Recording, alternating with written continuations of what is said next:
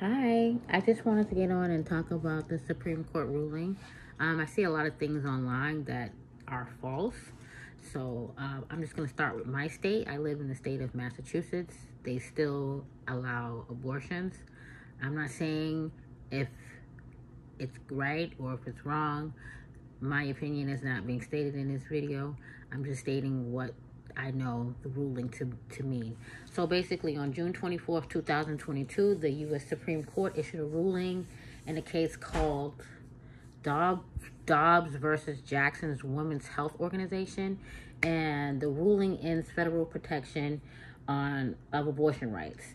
Um, each state can now decide if abortion should be allowed and under what situation. So that's what the ruling is for those who don't know.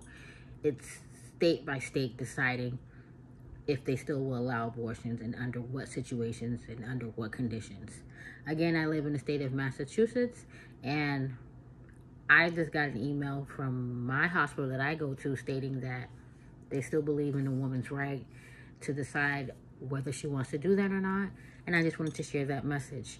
So I saw something online with someone posting about a child, I believe, living within the States, and she happened to go to India or someplace to get the abortion. And I'm like, why is she going all the way to India where there's other states within the United States that still allow abortions? Now, I, I don't know if you have to be living in that state or in order to get it. And I don't know how that whole thing works, but I do know that it's a state by state decision whether or not they want to allow that. So it's not just a finalized decision everywhere in the United States of America.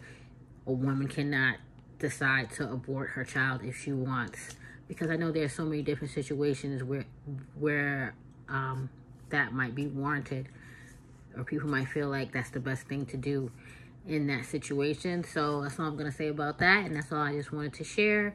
Um, you got to educate yourself on these things because I know a lot of times people hear things and they don't understand the, the details of. They just go with what they see on social media or they just hear one part of it and just think that's it. But yeah, so that's what that is.